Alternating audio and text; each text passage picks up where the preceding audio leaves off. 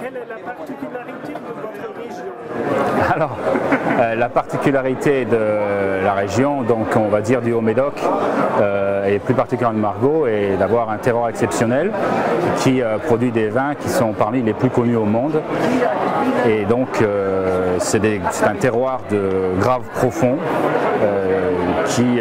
produit des vins qui ont une capacité de garde euh, exceptionnelle et qui a fait une renommée euh, qui est connue mondialement. En ce moment, donc du millésime 2004,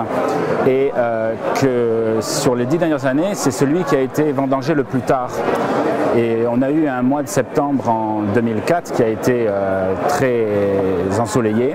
Et donc on a fait des vendanges qui ont commencé le 28 septembre, qui sont terminées le 14 octobre, ce qui est euh, sur, les, dernières années euh, le, seul, seul vendange aussi tardive, on va dire. Qu'est-ce que vous dites avec Weinkantor Ah bah alors euh, moi ce qui me lie avec Henschen Van Contor c'est d'abord l'amour du vin parce que c'est un, un grand dégustateur